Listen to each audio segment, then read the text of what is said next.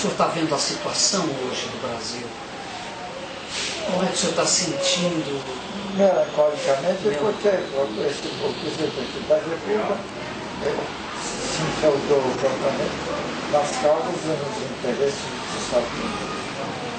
E, e eu achei que a independência do Brasil começava pelos Estados Unidos. Perfeito. A dependência do capital externo, sem fazer poupança interna É claro. e sem produzir uma. É. É. E a venda do Vale do da, da Rio do Vale da Vale foi, um, foi uma coisa que o entristeceu, né? Entre socialmente eu escrevi várias coisas quanto a gente. O Vale do Doce agora eh, os argumentos estão nos meus artigos. Estão todos nos seus artigos, é verdade. Que, eu- que eu estive recortando, eu comecei a escrever esses artigos nos domingos no Jornal do Brasil, que eu era redator do Jornal do Brasil desde 1921. Quando eu, eu vim para o Rio de Janeiro, eu passei a ser redator do Jornal do Brasil. Mas como o, o- o Jornal do Brasil defendia muitas causas, naturalmente, eu, eu tinha necessidade de ter uma coluna que re- re- re- registrasse exclusivamente o meu pensamento. E Foi, comecei em 1927, Aí escreveu uma coluna semanal no Jornal do Brasil. uma coluna semanal, nos domingos. E até hoje, eu li a ma- maioria silenciosa da semana passada, que é um belíssimo artigo. Meu filho, Carlos Eduardo, me ajuda atualmente Tá certo. na Mas lindo artigo. artigos, mas é, é, eu continuo com uma tradição que comecei em 27. Que coisa maravilhosa. Meu Deus do céu.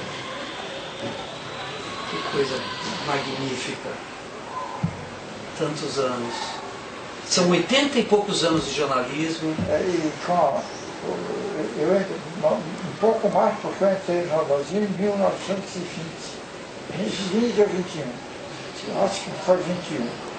Porque, eu- a- a- o meu sonho era ser professor de Direito em Recife, porque eu tinha tirado distinção, a nota mais alta, na, na, nas 18 cadeiras que compõem o curso jurídico. Jurídico distinção em todas as cadeiras.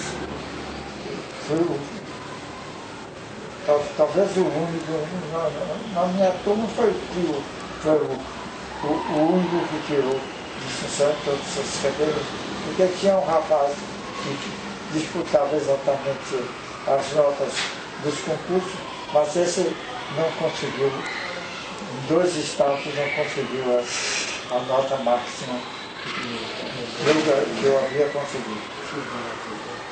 Mas o senhor acabou voltando a Pernambuco como governador do estado, né? Acabei. Eu vim para o Rio de Janeiro em 20, 20 21. Fui governador do estado em 41. Oito, né? Em 48 a 51. A 51. Tá certo. E depois o senhor voltou como deputado federal no final da década de 50, né? Voltei depois como deputado. Desi- Desisti da vida política porque realmente, com a mudança para o Brasil, Brasil. Que, eu, que eu defendia na, na ocasião, e uma idade avançada não era bom, conveniente uma mudança dessas para uma cidade de poucos recursos. É. Também foi é- era difícil encontrar os elementos todos necessários para a sobrevivência da família. Né? É verdade. Mas o senhor ficou em Brasília nesses primeiros anos ainda? Chegou a ficar os Já dois primeiros anos? De 60 a 63, né? Fiquei em- Brasília, muitas vezes sem a presença de, minha senhora, que minha senhora tinha ficado aqui porque eu tinha uma filha e, e, precisava exatamente de uma assistência maior. Mas porque minha senhora ficava aqui eu ia sozinho. Nossa, eu acho que deve ter sido os únicos momentos em que vocês ficaram separados, assim, por claro, mais não. tempo, né? Não, não, graças a Deus não foram outros momentos em que nós nos separássemos. É, Mas nessa ocasião, no interesse da, da educação da filha, eu estava estudando piano aqui no Rio de Janeiro. Nós fizemos esse, sac- esse Sacrifício. dessa separação. Dessa Porque separação. eu achava que a companhia de minha, de minha filha era mais importante do que exatamente a ilha paradisíaca. olha, que bonito. E, o- e o senhor está nessa casa onde nós nos encontramos agora há, há muitos anos, também desde os anos 30? 30 e 31. Eu acho que ela acaba, acabamos a construção em 31. E, e, e esse terreno não tinha, construção não tinha nada, era um terreno inteiramente Sim. podia dispor à vontade. Né? Perfeito. Então o senhor se casou e os primeiros anos do seu casamento já foram nessa casa? Já foram nessa casa porque eu, eu, eu, eu casei Em 31, em 31.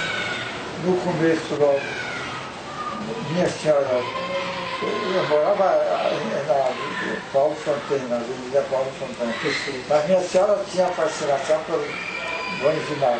Então nós fomos para a rua Gustavo Sampaio. E no Gustavo Sampaio até a conclusão dessa casa. Ah, perfeito.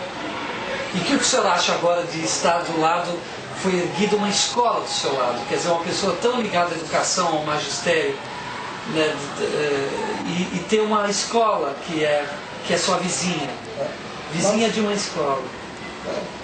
A- Aparentemente eu devia ser simpático a essa ideia. Mas quando eu vi que moravam on- 11 famílias na vila que, que eh, se tinha construído aí junto, eu com, com os interesses dessas famílias, eu deixei de ser um entusiasta. Eu imagino. Porque acabaram com a, com a tranquilidade, com a sua tranquilidade que senhor tinha, né? Mas ao mesmo tempo é, é im- impressionante como deve estar intrinsecamente ligado à, à casa, a- a história toda sua nessa casa, nesse espaço físico, a importância desse espaço físico né? na sua vida.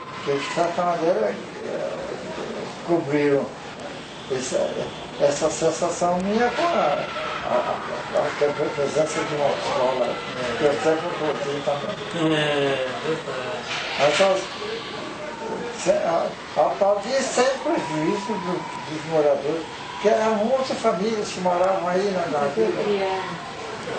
E essas 11 famílias tiveram que procurar aqui no Rio de Janeiro uma nova instalação, que não era fácil realmente conseguir, né, de uma maneira para outra, ou pelo menos elas teriam que se afastar muito do centro da cidade Aham.